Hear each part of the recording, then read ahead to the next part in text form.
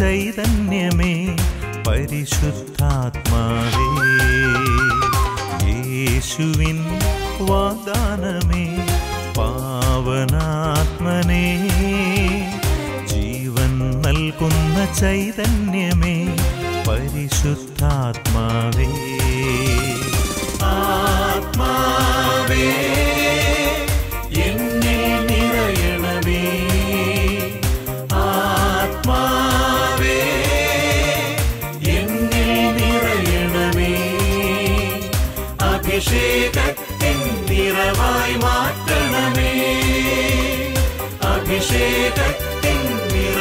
മാറ്റണമേ.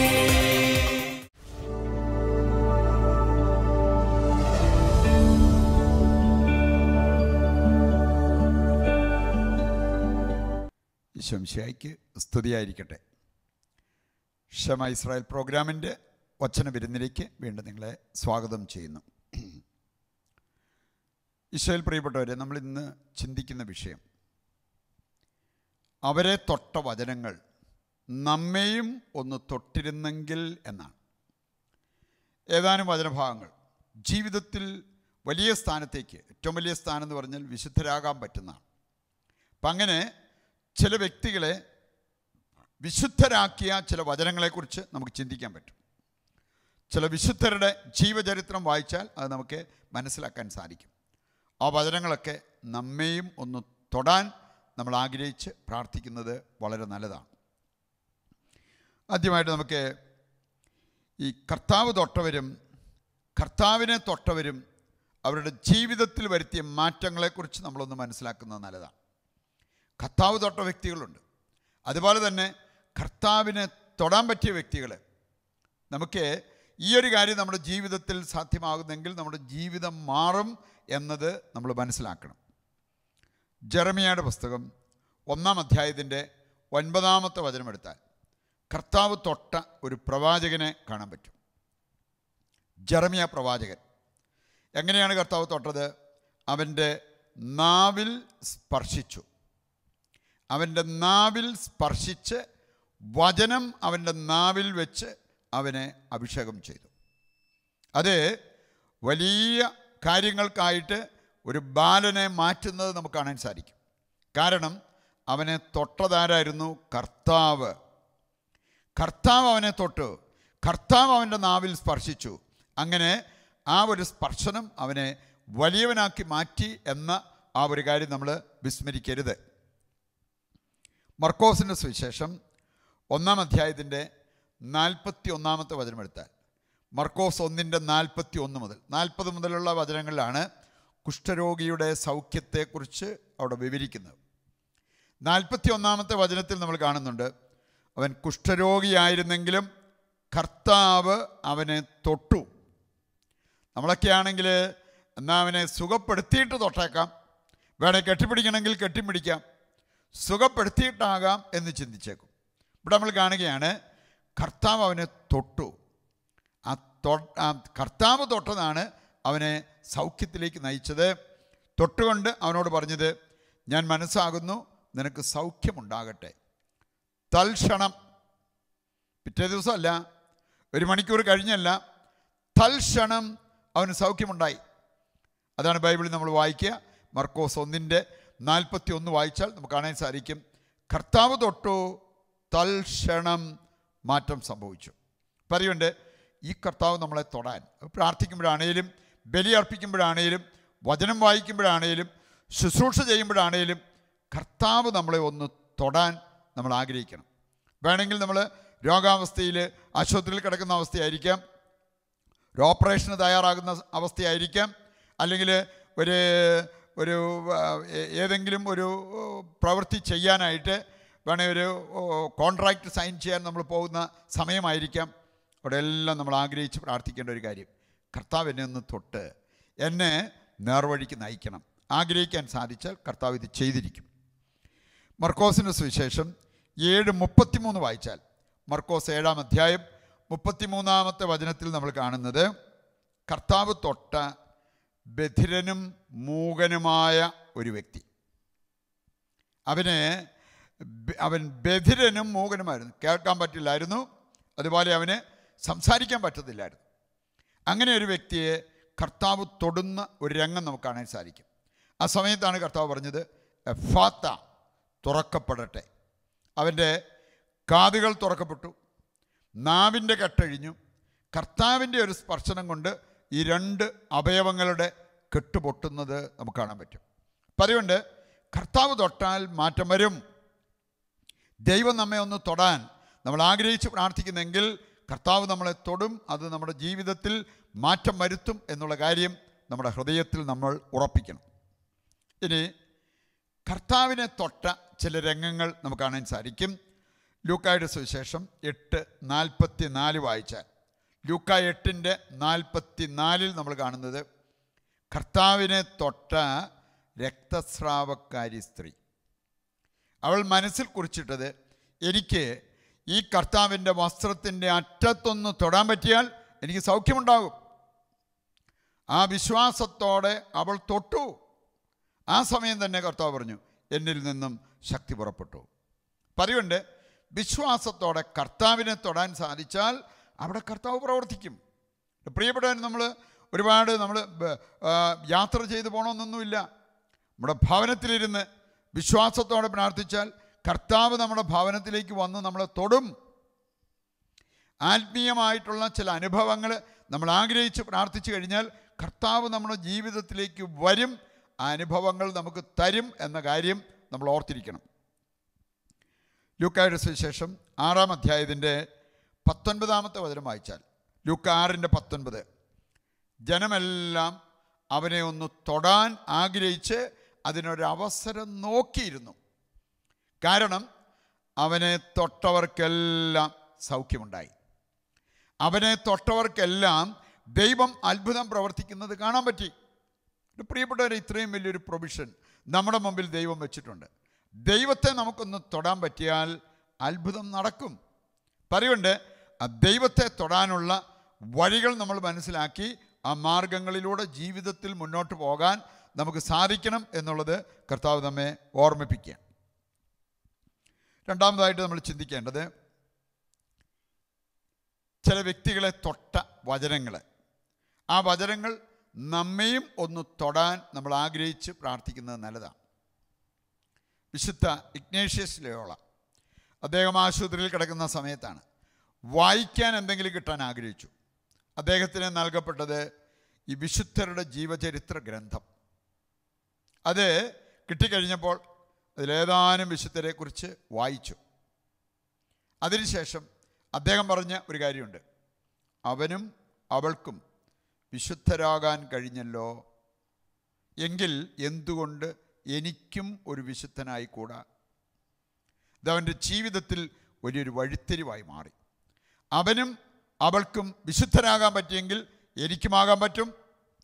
അവനും അവളും വിശുദ്ധരായെങ്കിൽ എനിക്കും ഒരു വിശുദ്ധനാകണം. എന്ന് പറഞ്ഞ പോലെ ദൈവത്തിന്റെ വചനം തൊട്ട് വിശുദ്ധരാക്കിയ പല വിശുദ്ധരുമുണ്ട്. ആ വചനം എന്നെ തൊട്ടാൽ എനിക്കും ഒരു വിശുദ്ധനാകാൻ പറ്റും വിശുദ്ധിയാകാൻ പറ്റും. ഈ ഒരു യാഥാർത്ഥ്യം നമ്മൾ തിരിച്ചറിഞ്ഞ് അത് നമ്മുടെ ഹൃദയത്തിൽ നമ്മൾ ഉറപ്പിക്കണം. അങ്ങനെയുള്ളവരുടെ ജീവിതത്തിലേക്ക് വലിയ ദൈവാനുഭവങ്ങൾ ദൈവാനുഗ്രഹങ്ങൾ കടന്നു വരും എന്ന കാര്യം നമ്മൾ ഓർത്തിരിക്കണം. ഏതാനും വിശുദ്ധര് അവരെ തൊട്ട വചനങ്ങൾ നമ്മളൊന്ന് മനസ്സിലാക്കുന്നത് നല്ലതാണ്. മത്തായുടെ സുവിശേഷം പതിനാറ് ഇരുപത്തിയാറ്. ഒരുവൻ ലോകം മുഴുവൻ നേടിയാലും അവന്റെ ആത്മാവ് നശിച്ചാൽ അവൻ എന്ത് നേടി? ഒരുവൻ ലോകം മുഴുവൻ നേടിയാലും അവന്റെ ആത്മാവ് നശിച്ചാൽ അവനൊന്നും നേടിയിട്ടില്ല.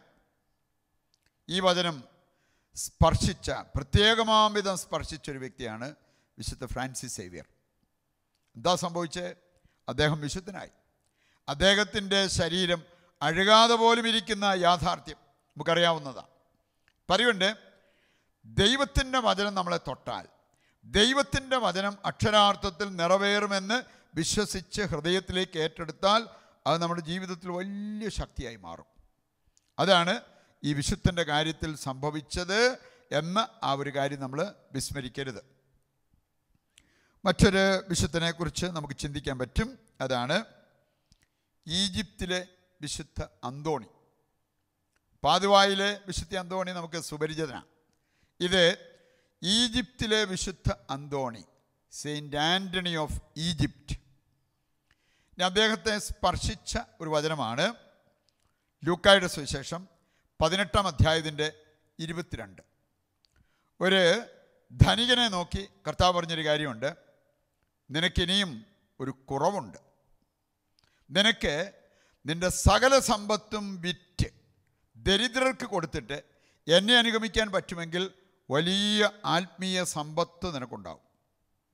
ഇവൻ കൽപ്പനകൾ പാലിക്കുന്നവനായിരുന്നു. ഇവന് ദൈവനിഷേധം കാണിക്കുന്നില്ലായിരുന്നു.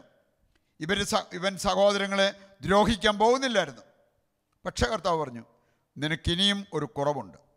നിനക്കുള്ളതെല്ലാം വിറ്റ് നീ ദരിദ്രർക്ക് കൊടുത്തിട്ട് എന്നെ അനുഗമിച്ചാൽ നിനക്ക് വലിയ സമ്പത്ത് സ്വർഗീയ സമ്പത്തുണ്ടാവും. ആ ചെറുപ്പക്കാരൻ നിരാശനായി തിരിച്ചുപോയി. പക്ഷേ ആ വചനം അക്ഷരാർത്ഥത്തിൽ കത്തിജ്വലിച്ച ഹൃദയത്തിൽ കത്തിജ്വലിച്ച ഒരു വ്യക്തിയാണ് വിശുദ്ധ ആന്റണി ഈജിപ്തിലെ വിശുദ്ധ അന്തോണി. അദ്ദേഹം ഒരു പ്രസംഗത്തിൽ ഇത് കേട്ടുകൊണ്ടിരുന്നു. പള്ളിയിൽ നിന്നിറങ്ങിയപ്പോൾ അദ്ദേഹം മനസ്സിൽ കുറിച്ചിട്ടു എനിക്കിത് അക്ഷരാർത്ഥത്തിൽ പ്രാവർത്തികമാക്കണം. അദ്ദേഹം പോയിട്ട് സകലതും വിറ്റ് ദരിദ്രർക്ക് കൊടുത്തിട്ട് ആ വചനം പറയുന്നത് പോലെ തന്നെ അദ്ദേഹം പോയി ഈജിപ്തിലെ മരുഭൂമിയിലേക്ക് പോയി. ഈജിപ്തിലെ മരുഭൂമിയിൽ പോയി അവിടെ അവൻ ശേഷിച്ച ജീവിതകാലം അവിടെ ചിലവഴിച്ചു. കാരണം ഞാൻ എന്റെ വീട്ടിൽ നിന്നാൽ അല്ലെങ്കിൽ സമൂഹത്തിൽ നിന്നാൽ എനിക്ക് ഈ വചനം അക്ഷരാർത്ഥത്തിൽ പ്രാവർത്തികമാക്കാൻ പറ്റില്ല എന്ന തിരിച്ചറിവുണ്ടായിട്ട് ആ മനുഷ്യൻ മരുഭൂമിയിലേക്ക് പോകുന്നത് കാണാൻ പറ്റും. അദ്ദേഹം മരുഭൂമിയിലാണ് ജീവിച്ചത് എങ്കിൽ ദീർഘകാലം നല്ല ദീർഘായുസ് എത്തി മരിച്ച ഒരു വ്യക്തിയാണ്. മാത്രമല്ല ഒരുപാട് അത്ഭുതങ്ങൾ പ്രവർത്തിക്കാൻ ശക്തി ഉണ്ടായിരുന്ന ഒരു വ്യക്തിയാണ് ഈജിപ്തിലെ വിശുദ്ധ അന്തോണി. അപ്പോൾ പ്രിയപ്പെട്ടവരെ ഈ വചനം നമ്മളൊക്കെ എത്ര പ്രാവശ്യം കേട്ടിട്ടുണ്ട്?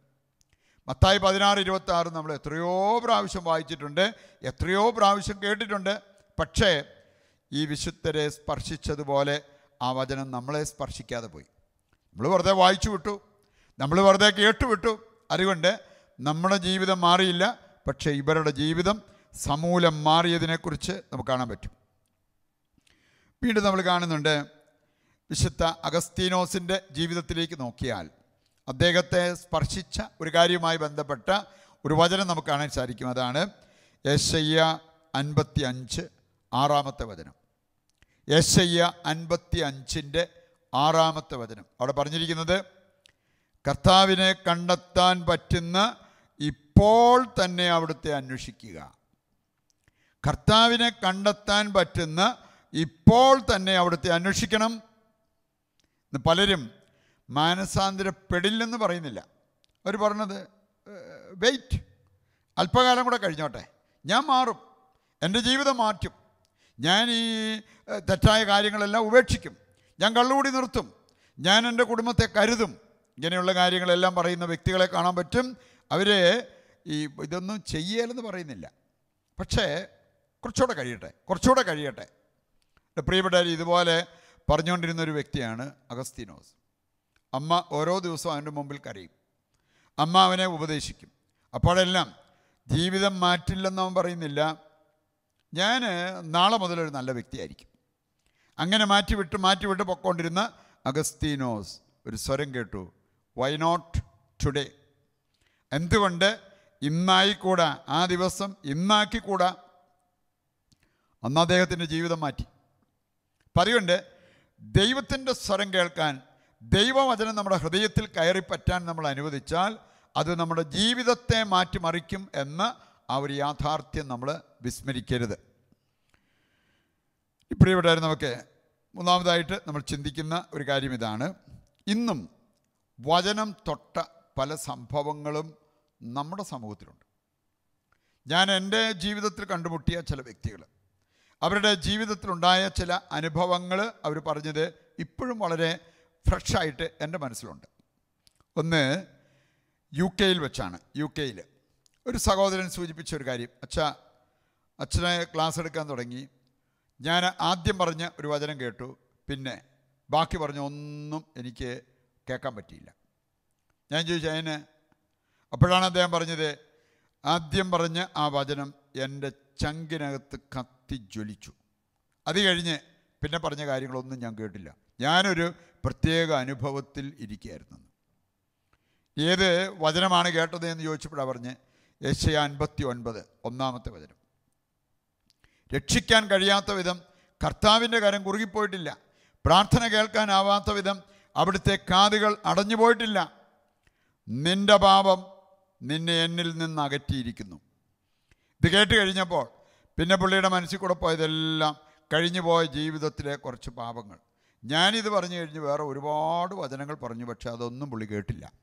എന്റെ പ്രിയപ്പെട്ടവരെ ആ മനുഷ്യന്റെ ജീവിതം മാറി അങ്ങനെ ഒരു അനുഭവം ഉണ്ടായപ്പോൾ.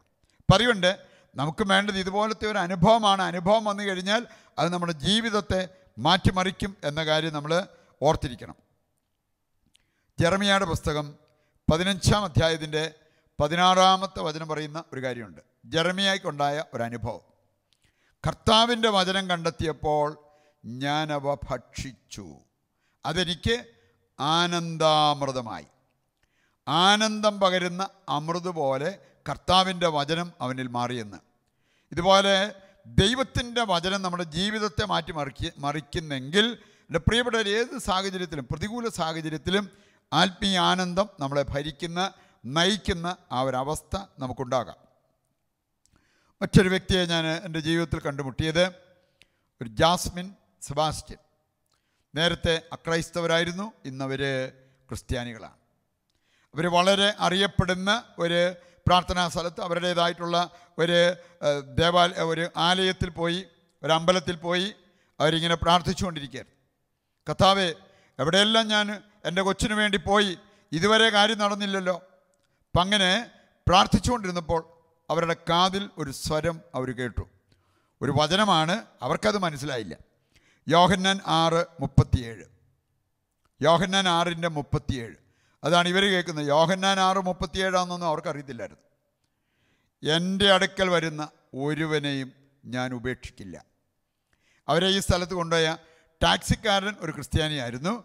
തിരിച്ചു വന്നപ്പോൾ ഇവരിങ്ങനെ ഒരു സ്വരം കേട്ടതിനെക്കുറിച്ച് പറഞ്ഞപ്പോൾ അദ്ദേഹം പറഞ്ഞു അതൊരു ബൈബിൾ വചനമാണ് ബൈബിൾ വചനം. ഇനി ഇങ്ങനെ ഒരു അനുഭവം ഉണ്ടായെങ്കിൽ നിങ്ങൾ പോയിട്ട് ഡിബായിൽ എവിടെയെങ്കിലും പോയി ഒരു ധ്യാനം കൂടെ. അവർ പോയി ഒരു ധ്യാനം കൂടി. ആ ധ്യാനം അവരുടെ ജീവിതത്തെ മാറ്റിമറിച്ചു. ഇന്നവർ നല്ല എന്ന് പറഞ്ഞാൽ കറ തീർന്ന ക്രിസ്ത്യാനികളെന്ന് പറയാവുന്ന രണ്ട് വ്യക്തികളാണ്. അതുകൊണ്ട് പ്രിയപ്പെട്ടവരെ കർത്താവിന്റെ വചനം നമ്മെ തൊട്ടാൽ അത് നമ്മുടെ ജീവിതത്തെ മാറ്റും എന്നുള്ളത് ഇങ്ങനെയുള്ള സംഭവങ്ങളിലൂടെയൊക്കെ നമുക്ക് മനസ്സിലാക്കാവുന്ന കാര്യമാണ്. നമുക്കിനിയുള്ള സമയം ഈശോയുടെ മുമ്പിലിരുന്ന് നമ്മൾ പ്രാർത്ഥിക്കാൻ പോവുകയാണ് കഥാവെ ഞങ്ങൾ കേട്ട ഈ വചനങ്ങളിൽ ഏതെങ്കിലും ഒരു വചനം ഞങ്ങളുടെ ഹൃദയത്തിൽ ഒന്ന് കത്തി ജ്വലിക്കുവാൻ ഞങ്ങളെ തൊട്ട് ആഴമായ മാനസാന്തരത്തിലേക്ക് നയിക്കുവാൻ ഇടവരുത്തണമെന്ന് യാചിച്ചുകൊണ്ട് നമുക്ക് ആരാധനയിലേക്ക് പ്രവേശിക്കാം. ആരാധന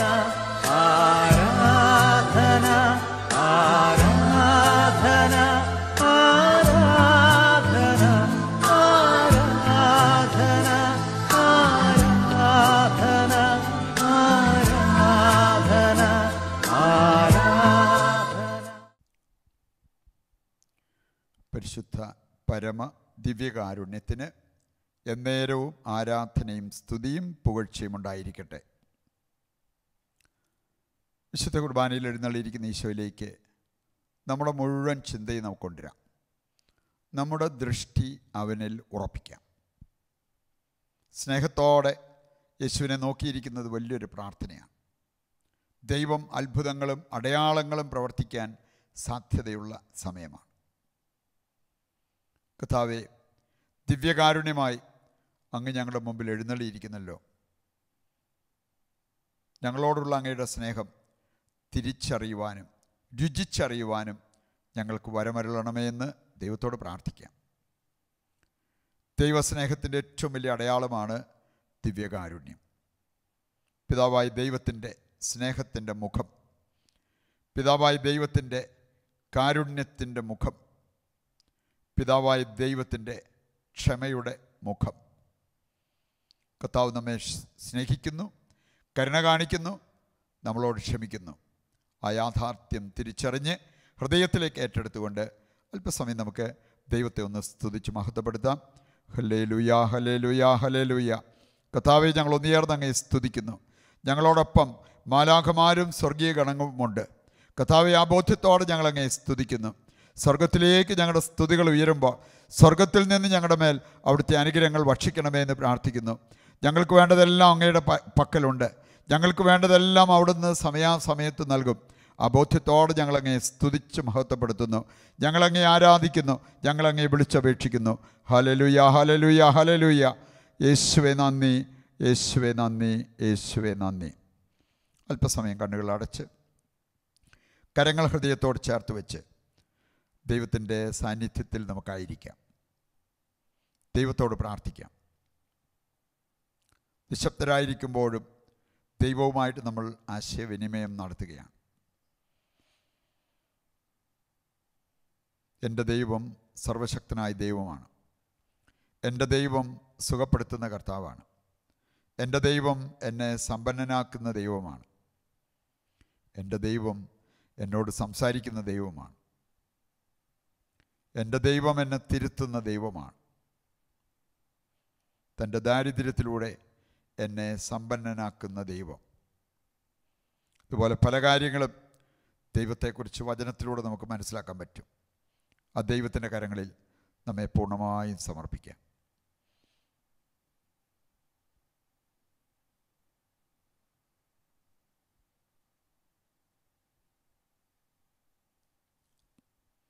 നമ്മളേതാനും വചനങ്ങൾ ധ്യാനിക്കുകയുണ്ടായി. ആ വചനങ്ങൾ ഓരോ വിശുദ്ധരെയും തൊട്ട വചനം അവരുടെ ജീവിതം മാറ്റിമറിച്ച വചനങ്ങളാണ്.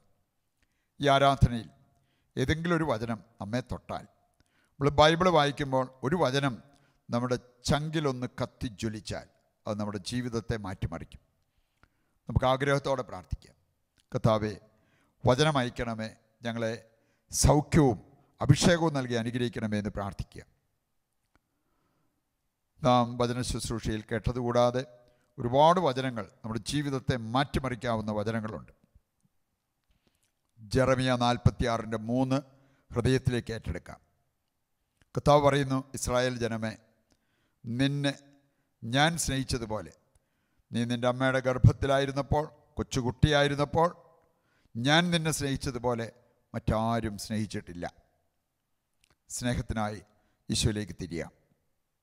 ഈ വചനം നമ്മെ പിടിച്ചു നിർത്താൻ ലോകം മുഴുവൻ നമ്മെ ഉപേക്ഷിച്ചാലും ഈ വചനം നമ്മെ പിടിച്ചു നിർത്താൻ നമുക്ക് ആഗ്രഹിക്കാം.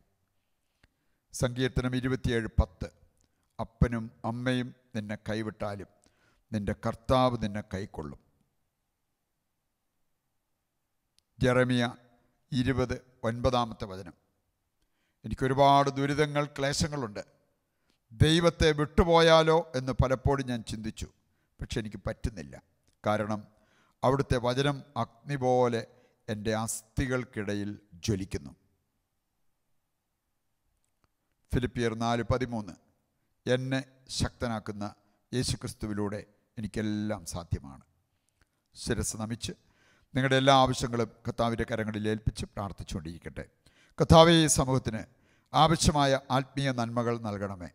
കർത്താവെ അറിവ് പകർന്ന് ഇവരെ അനുഗ്രഹിക്കണമേ എന്ന് പ്രാർത്ഥിക്കുന്നു. സൗഖ്യം നൽകി ഇവരെ അനുഗ്രഹിക്കണമേ എന്ന് പ്രാർത്ഥിക്കുന്നു. ഇവരുടെ എല്ലാ പ്രാർത്ഥനയ്ക്കും അവിടുന്ന് ഉത്തരം നൽകണമേ. ഇവരുടെ എല്ലാ ആവശ്യങ്ങളിലേക്കും അങ്ങ് ഇറങ്ങി പ്രവർത്തിക്കണമേ. അതിനായി കർത്താവെ അങ്ങേ വിളിച്ചപേക്ഷിക്കുന്ന ഈ ദാസരെ ആശീർവദിച്ച് അനുഗ്രഹിക്കണമേ. പ്രിയപ്പെട്ടവരെ കെട്ടുവാനും അഴിക്കുവാനും സുഖപ്പെടുത്തുവാനും അഭിഷേകം ചെയ്യുവാനും കർത്താവ് നൽകിയിരിക്കുന്ന അധികാരത്തിന് കീഴിൽ നിന്നുകൊണ്ട് നിങ്ങളെയും നിങ്ങളുടെ നിയോഗങ്ങളെയും ആശീർവദിച്ച് അനുഗ്രഹിക്കുന്നു. പിതാവിന്റെയും പുത്രന്റെയും പരിശുദ്ധാത്മാവിന്റെയും നാമത്തിൽ ആമേൻ. ശിരസ് നമിക്കാം. ദിവ്യകാരുണ്യത്തിന്റെ ആശീർവാദം. താഴ്ന്ന സ്വരത്തിൽ ദൈവത്തെ സ്തുതിച്ചുകൊണ്ട് നമുക്കിപ്പോൾ ഏറ്റെടുക്കാം. യേശുവെ നന്ദി യേശുവെ നന്ദി. ഹലലുയ ഹലലുയ ഹലലുയ യേശുവെ നന്ദി യേശുവെ നന്ദി. പരിശുദ്ധ പരമകാരുണ്യമേ